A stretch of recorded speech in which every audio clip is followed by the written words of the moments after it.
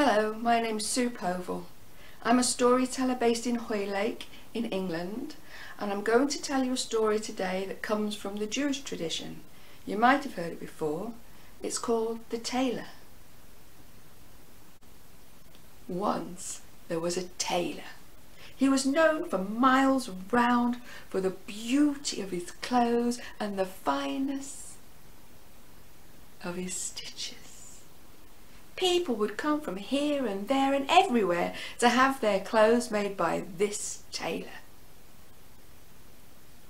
including the Queen. She would sweep into his shop, followed by her ladies in waiting and well, other hangers-on from the court. She'd make this demand of the tailor and that demand of the tailor, and he'd bob his head and he would bow, and he'd say, yes, ma'am, yes, ma'am whatever you'd like.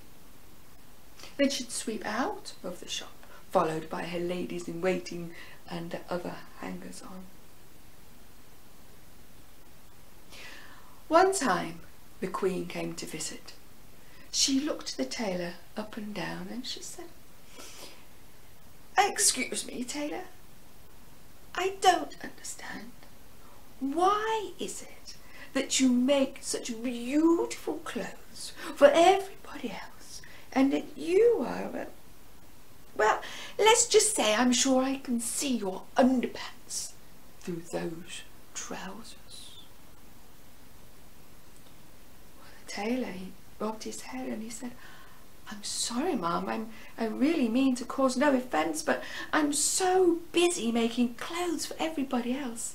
I just don't have time to make any for myself. I see, said the Queen. And with that she swept out of the shop followed by her ladies in waiting and the other hangers-on. But a couple of days later a courtier arrived and he was holding in his arms a bolt of cloth. Place the cloth down on the tailor's table and he said, The Queen wishes me to inform you that this cloth is for you and you alone to make yourself some clothes for when she comes to visit. And with that, he too swept out of the shop. Cloth for me? thought the tailor. From the Queen? He couldn't wait for the other customers to leave his shop and then he ran over to the cloth and he picked up the edge. Oh, it was as soft and smooth and light as silk. It was as strong as sackcloth. This cloth would take the finest of finest of stitches tailor held up the, the cloth to the light. He saw that it shone in many different colours as he moved it. It was purple, it was blue, it was green, it was orange, it was red, it was yellow, it was gold, it was silver. Oh, the tailor knew that whichever clothes he made from this cloth, they would be stunning. So that night, after he'd finished his work for all his customers, he took that cloth up to his workshop. He spread it out on his table. He measured it out. He scratched his chin and he knew what he was going to make. He took his chalk and he drew out a pattern. He took his scissors and he cut that pattern out. And then he spent the night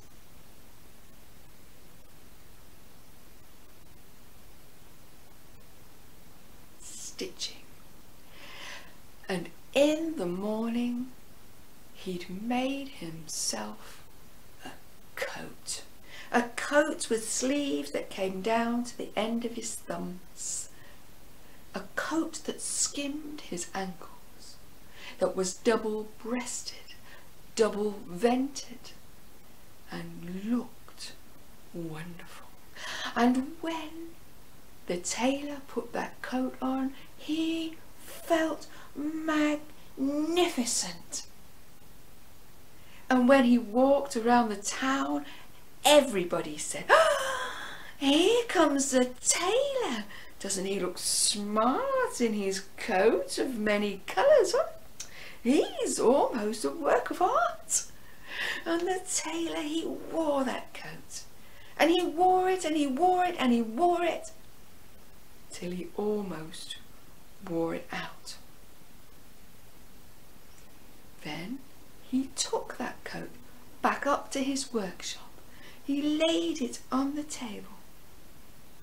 He measured it up.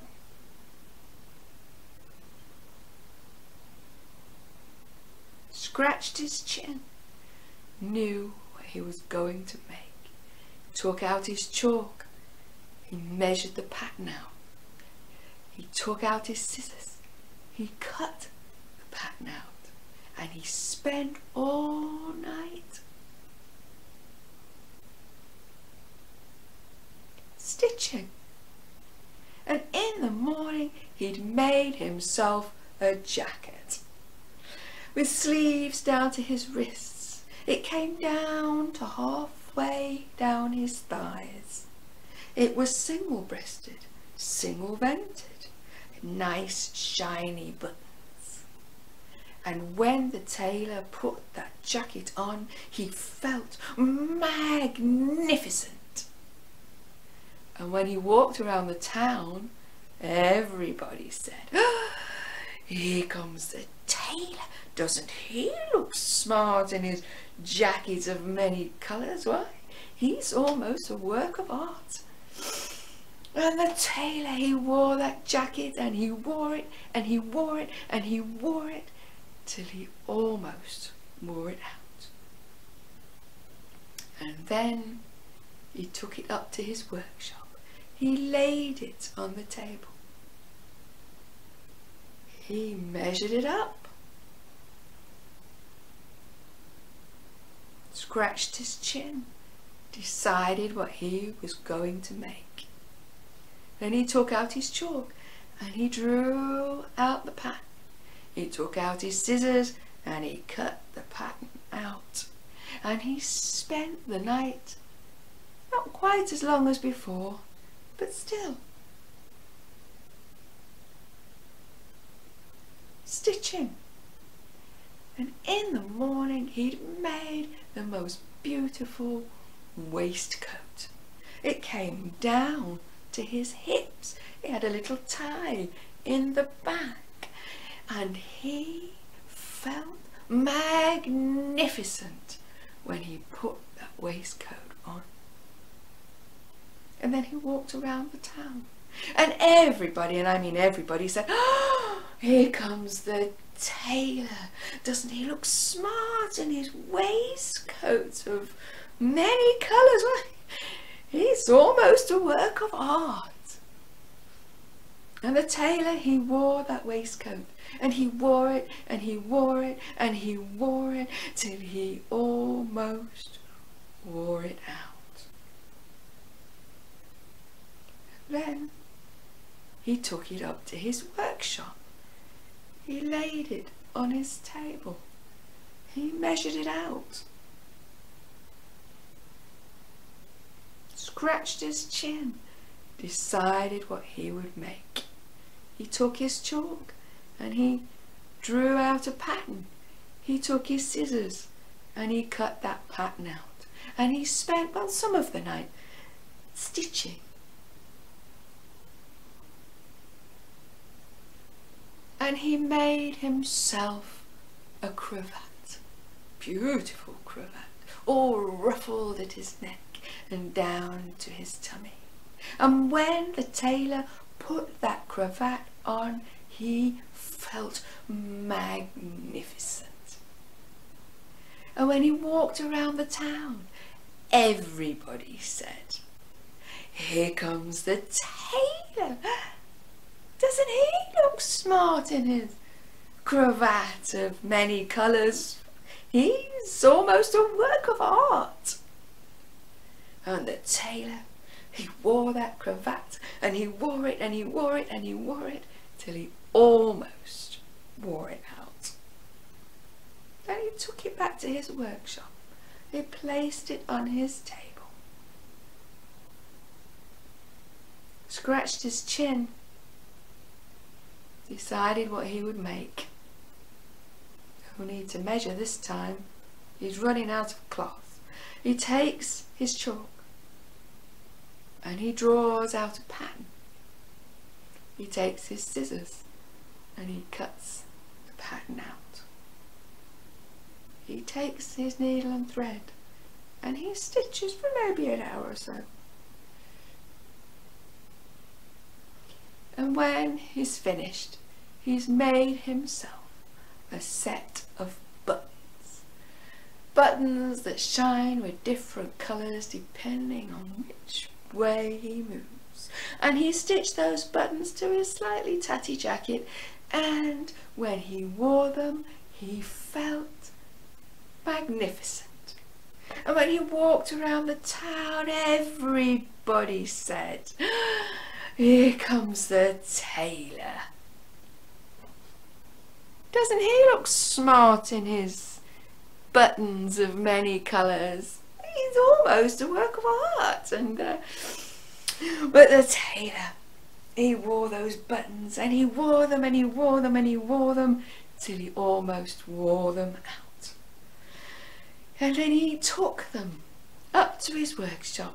He placed them on his table, scratched his chin, but to be honest, there was nothing else he could make from that beautiful bolt of cloth that the Queen had given him. But then he smiled. He smiled because the tailor knew that while he might not be able to make anything to wear, he'd made something much, much more important. Because the tailor had made the story